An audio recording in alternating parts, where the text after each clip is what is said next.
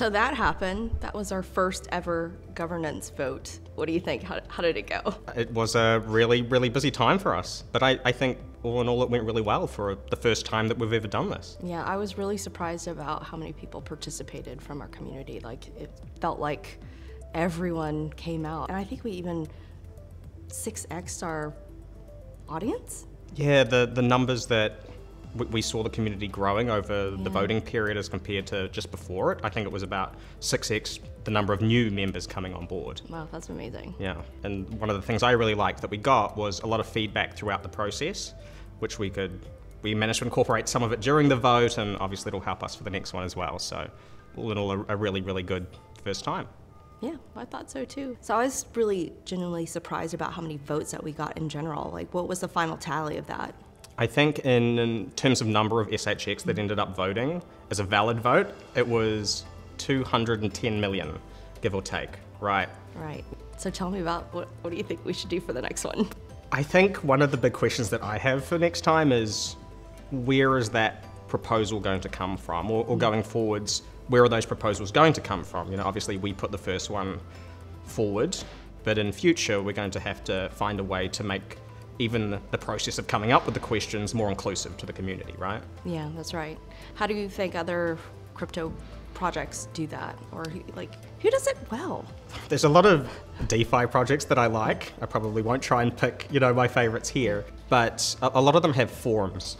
I've noticed where they'll they'll talk about things. So you'll, you'll see people talk about things on the Discord, and I have actually seen in our Discord some people coming up with some, you know, beginnings of ideas, which is cool. Mm. But I think we need a space where people can write down, you know, hey, this is what I think is a really good idea, and then let people actually comment on that sort of in a single thread. So I think that model might be something that we can start looking at. Yeah. Maybe we should vote on a forum. Oh, there we go. There's an interesting idea. Number two, maybe. Yeah. Yeah, maybe. What surprised you the most for this voting event? Well, coming up to the vote, I think the thing that struck me first was that there's a lot of infrastructure that was missing, right? We were building on top of the Stellar Ledger, which is fantastic for payments, mm-hmm. but it is missing a lot of the functionality that you'd see on like an EVM chain like Ethereum. Mm-hmm. So there was a lot of work that we had to do, but we did get there, and I think it was an acceptable voting experience at the end of the day.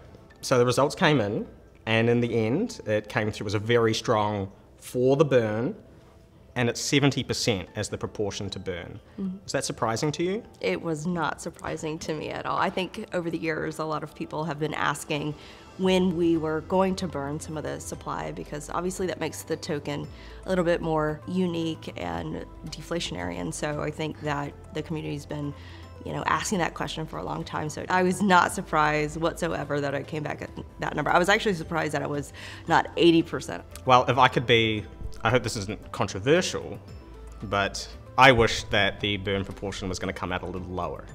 I was hoping for something more like 50-50. I think thinking from the, the business side, there is certainly a case where I think we need to keep that incentive mechanism there for the capital contributors. So I think 50 would have been a nice balance. But with the rates coming down overall, I think it'll still be a really good, you know, really good deal for our, our merchants. What do you think our community can expect to see next?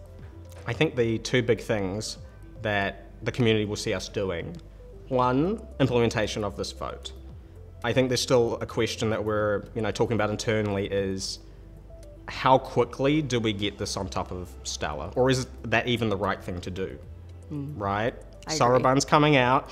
You never want to be one of the first players on something new as well. That's you know not a good idea, especially when we're moving money. Never a good idea. So we'll be watching like what happens with Stellar and Soroban really closely to see if that's a stable platform for us to put smart contracts in. And then you can see more of the MCA program actually moving there. Without that, it's going to be a little more difficult for us um, to, to put that on top of Stellar for now. So we're working on that and we'll see where that ends up. The second thing that we're going to be working on is ramping up for vote number two and how we want to do that going forwards. You know, we're continuing to reflect on all the learnings that we got out of this vote and trying to think about what will make it better, more inclusive in the future. But uh, yeah, all eyes on that Soroban release. It really changes a lot for us. Because we've been focused so much on just building the business, that means doing bank partnerships, payment network partnerships, merchants, and onboarding, you know, all these customers getting all these transactions on Stronghold Net.